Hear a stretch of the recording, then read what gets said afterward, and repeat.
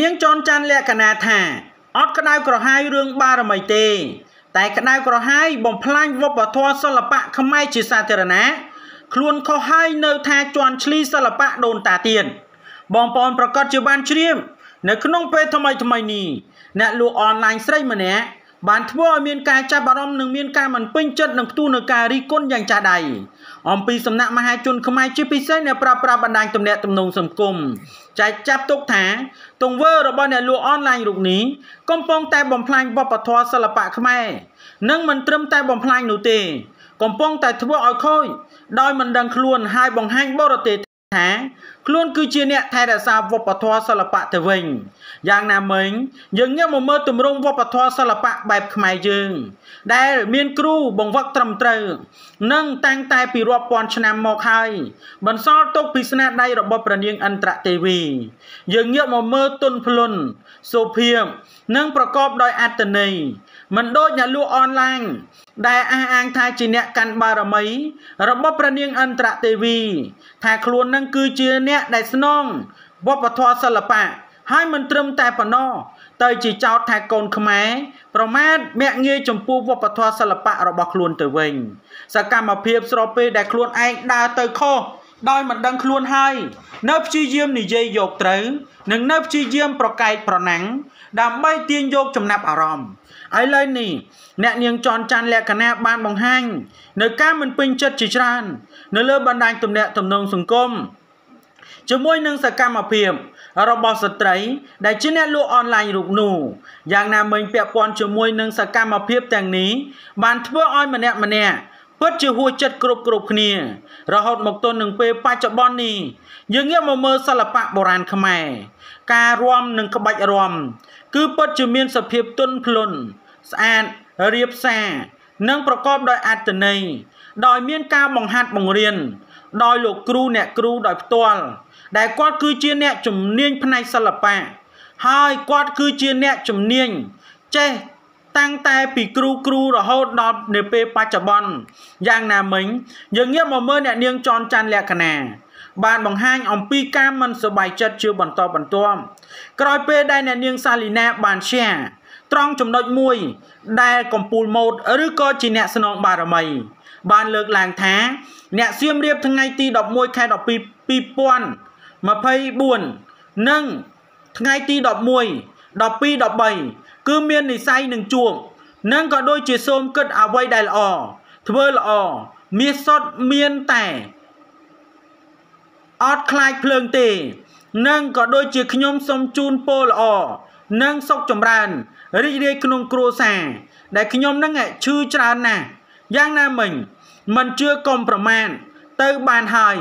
មិនចូលចិត្តលុបចោលចុះណា ហើយកុំយកដូនតាខ្មែរមកប្រមាថម្ដងហើយម្ដងទៀតផ្លូវក្នុងគាត់កំពុងតែមើលហើយសូមរក្សាផ្លូវចិត្តខ្លួនឯងកុំឲ្យក្តៅក្រហាយរឿងគេ បាទនេះគឺជាការលើកឡើង របស់ស្ត្រីដែលជា អ្នកអះអាងថា ខ្លួនឯងនឹងជាអ្នកកាន់ផ្លូវក្នុង របស់ព្រះនាងអន្តរទេវី ដែលជាព្រះមេដាជាតិខ្មែរ និងមិនត្រឹមតែប៉ុណ្ណោះការលើកឡើងរបស់ស្ត្រីខាងលើនេះបានបង្កឲ្យម្នាក់ម្នាក់ហួចចិត្តគ្រប់គ្រប់គ្នា ស្របពេលដែលខ្លួនឯងកំពុងតែបំផ្លាញហើយហើយអះអាងថាខ្លួនឯងនឹងគឺជាអ្នកដែលកាន់បារមីនេះគឺចេះនៅរបាំរបស់បុរាណដែលជារបស់ព្រះនាងអន្តរទេវីទៅទៀតដើម្បីទាញយកចំណាប់អារម្មណ៍ពាក់ព័ន្ធជាមួយនឹងរឿងនេះធ្វើឲ្យលោកជំទាវចនច័ន្ទលក្ខណៈតាមមិនលែងទេ នៅក្នុងនោះផងដែរអ្នកនាងសាលីណាឯនេះវិញក៏បានលើកឡើងដូចនេះវិញថាឯងសុំឲ្យបកស្រាយពាក្យចោទថា យើងប្រមាថដូនតាឥឡូវនឹងចេញមកបកស្រាយរបៀបនឹងឬឆ្ងល់យកគួអីមកនិយាយមកកិនដែលគេហ្នឹងថាគេប្រមាថព្រោះតែគេនឹងមិនចង់ប្រមាថនឹងហើយបានជាគេមិនចង់ឲ្យនាងឯងហ្នឹងយកមកលេងសើចបើនិយាយឲ្យចំគិតឲ្យត្រូវ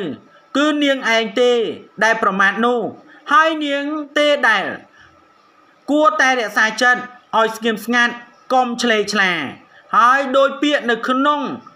ឆាតបើនាងមិនយកបារមីព្រះនាងមកលេងសើចគឺគ្មាននរណាទៅខ្វល់ជាមួយនឹងនាងដែរតែនាងវាលេងលើសហើយទើបគេមិនຕົកហើយអ្នកអួតបារមីព្រះនាងស្នង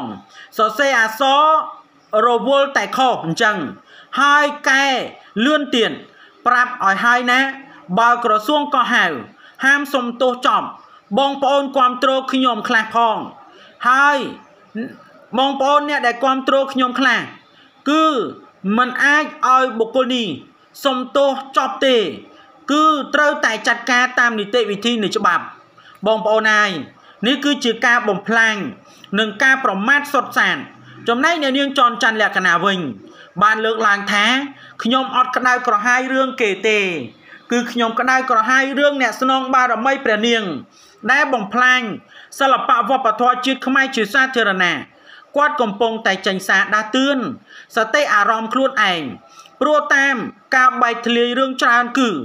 អ្នកដែលកំពុងតែផ្សាយផ្លូវចិត្តនឹងគឺគាត់នឹងហើយ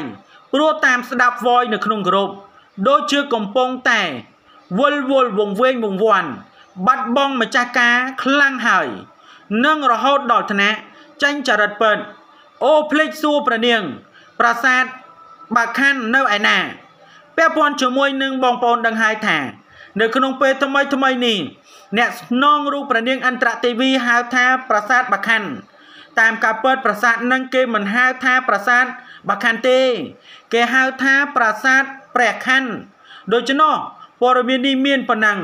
ដើម្បីទទួលបាននូវព័ត៌មានថ្មីៗបន្ថែមទៀតសូម Subscribe និង Like